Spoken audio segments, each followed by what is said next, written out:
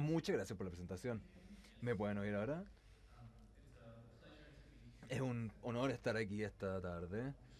Y quería compartir con ustedes una charla que le puse eh, anomalía de segmento anterior congenital.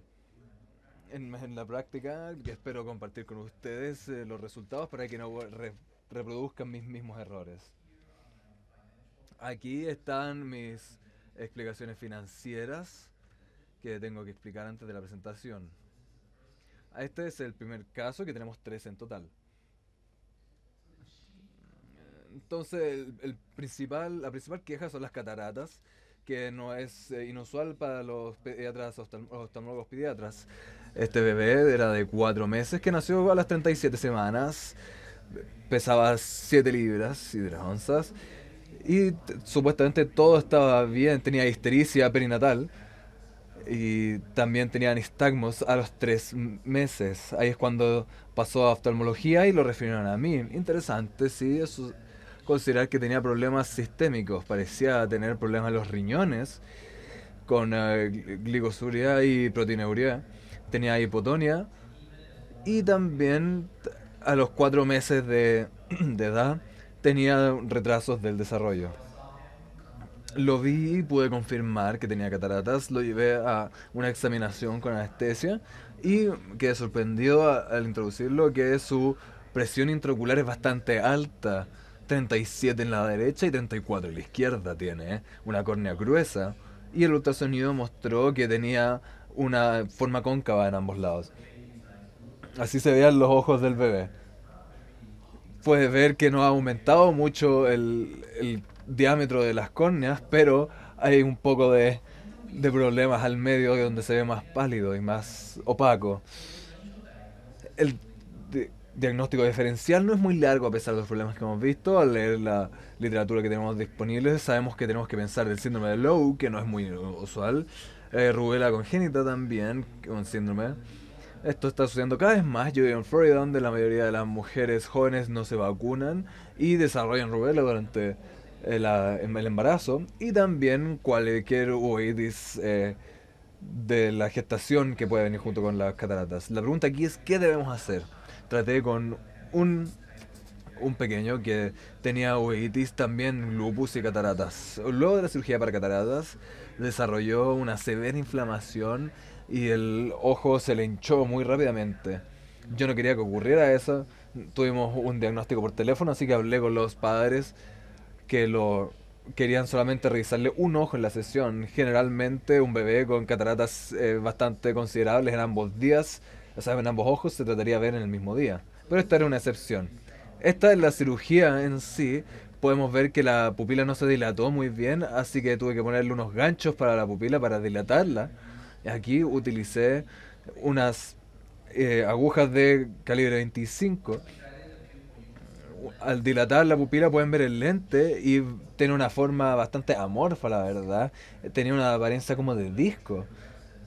Intenté corregir esto, luego limpié la corteza y cuando estamos tratando con recién nacidos tenemos capsulotomía posterior y triquectomía. El resto de la cirugía no tuvo mayores complicaciones.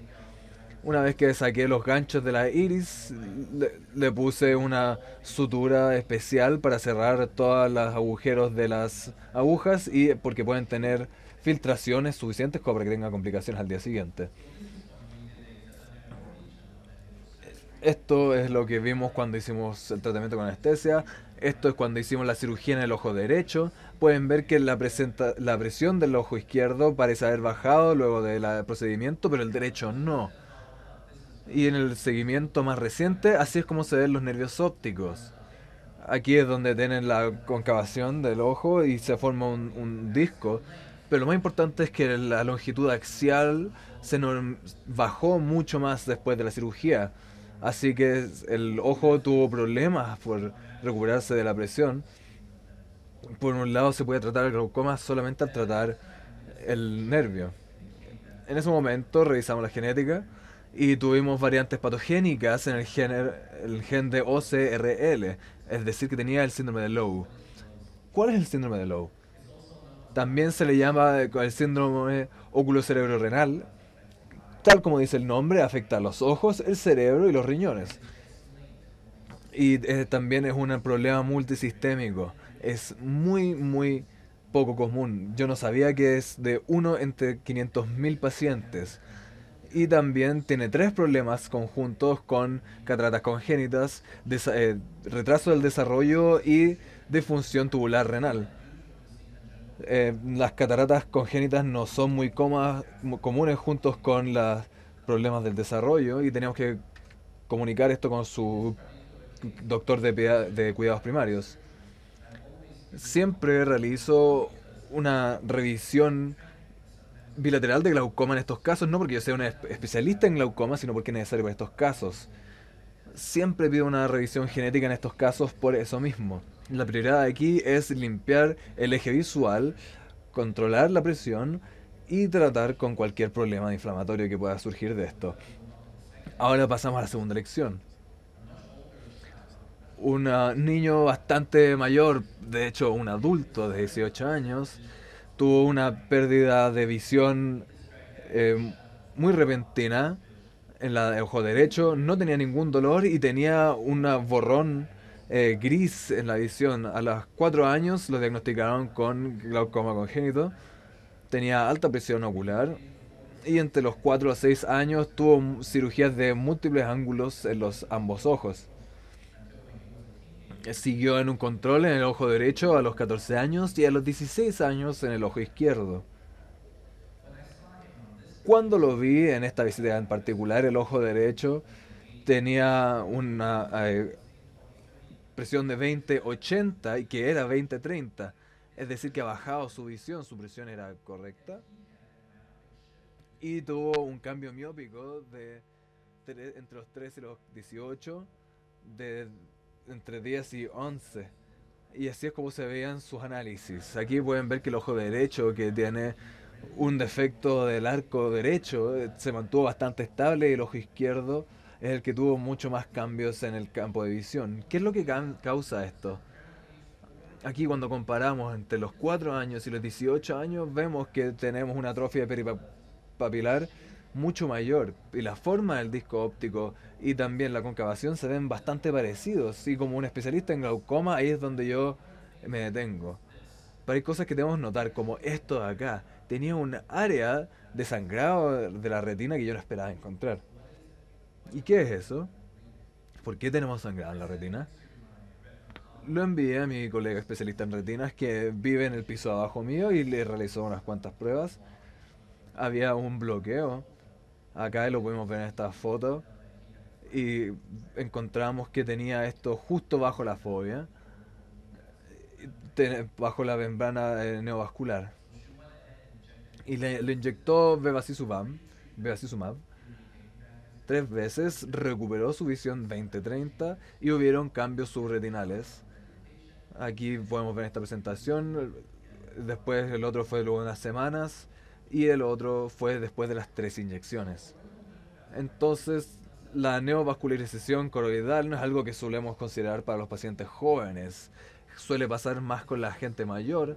Se asocia con, eh, con roturas de la membrana y atrofia el RPE. Sabemos que esto ocurre cuando tienen problemas de un largo de 26,5 a ambos hoyos. Sabemos que nuestro cliente, porque tiene glaucoma, tiene un 27,6 milímetros de largo. ¿Importa si es que se desarrolla esta longitud a causa de la miopía o por los cambios a la membrana de Ruch? No sabemos, por lo que dice la literatura es que cuando tiene estos eh, problemas de la membrana, eh, ocurre todo esto gracias a la miopía. Y buscamos la membrana neovascular se puede formar de manera mucho más fácil. Luego de este caso, lo que yo sentía es que quizás la membrana neovascular coronar eh, no estaba bien vasculada, eh, bien diagnosticada en este niño. Muchos de estos jóvenes no tienen los resultados visuales como nuestros otros pacientes, tienen mala visión, también pueden tener cicatrices en la córnea o hinchazón sangrado en la retina y pueden no saberlo. ¿Cómo se monitorea esto?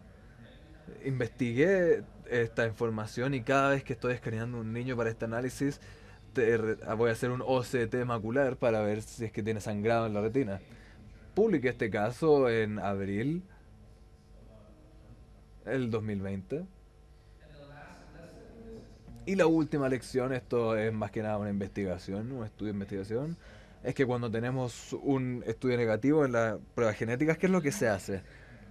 Las anomalías eh, de los segmentos anteriores congénitas, que es lo que hablábamos del otro caso, tiene anomalías congénitas en la córnea, por ejemplo. Aquí tenemos algunos ejemplos. Aquí tenemos una hermosa foto de la adhesión lenticular también. Y también tenemos el lentico problemas en los conos y también en la lente. Para las cataratas los consideramos como unas eh, anomalías de segmento anterior congénitos también. Cuando nosotros vemos esto, en especial cuando es en ambos ojos, tenemos que hacer una prueba genética. La manera en la que hacemos esta prueba genética, denme un momento por favor. Lo primero que hacemos es eh, revisar múltiples genes asociados con esta condición y si es negativo pasamos a algo que es un poco más extensivo. Toda la secuencia de los axiomas y de genomas también, en general, los seguros solamente cubren uno de estos estudios. La revisión del panel de multigenes es una prueba que solamente va a revisar los genes que están relacionados con estos problemas, así que no vamos a utilizarla como una herramienta general para el estudio genético. Tiene una variabilidad muy grande entre los distintos laboratorios que lo prueban.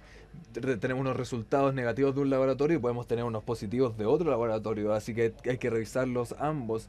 Y si es que solamente estamos buscando anormalidades en las regiones del código genético, en las distintas variables.